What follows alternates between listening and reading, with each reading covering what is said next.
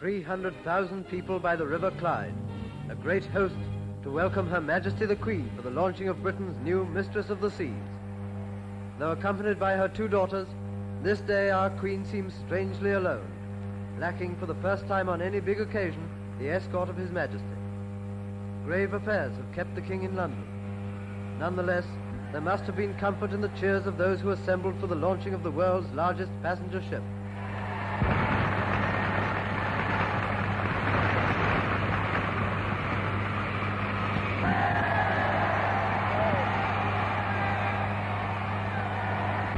Before the actual ceremony, our Queen spoke. A wonderful message, bravely delivered, in a time when we all need words of hope and encouragement. I thank you for the kind words of your address. The King has asked me to assure you of the deep regret he feels at finding himself compelled at the last moment to cancel his journey to Clydebank for the launching of the new liner. This ceremony, to which many thousands have looked forward so eagerly, must now take place in circumstances far different from those for which they had hoped. I have, however, a message for you from the King. He bids the people of this country to be of good cheer, in spite of the dark clouds hanging over them, and indeed over the whole world. He knows well as ever before in critical times, they will keep cool heads and brave hearts.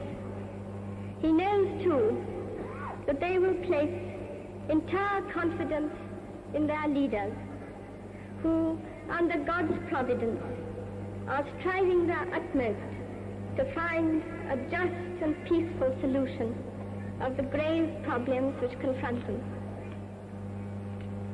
The very sight of this great ship brings home to us how essential it is for the welfare of man that the arts of peaceful industry should continue.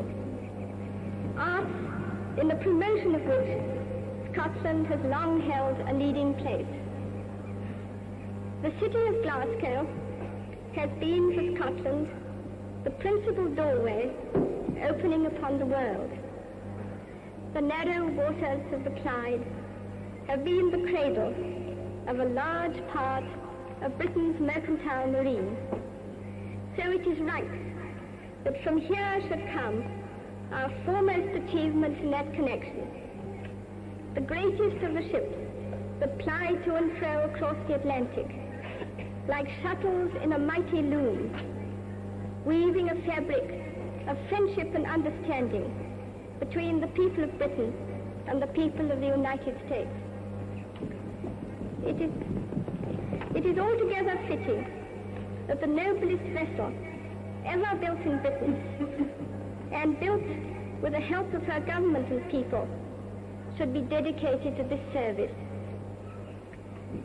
I am happy to think that our two nations are today more closely linked than ever before by a common tradition of freedom and a common faith. While thoughts like these are passing through our minds, we do not forget the men who brought this great ship into being. For them, she must ever be a source of pride and credit, and I'm sure affection. I congratulate them warmly on the fruits of their labors. The launching of a ship is like the inception of all great human enterprises, an act of faith. We cannot foretell the future, but in preparing for it, we show our trust in a divine providence and in ourselves. We proclaim our belief that by the grace of God and by man's patience and goodwill, order may yet be brought out of confusion and peace out of turmoil. With that hope and prayer in our hearts, we send forth upon her mission this noble ship.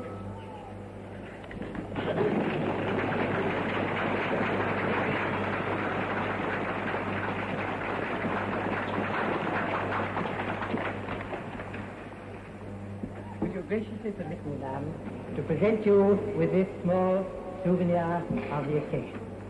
A casket made in the reign of the first Queen Elizabeth and containing an album of photographs of the progress of the vessel.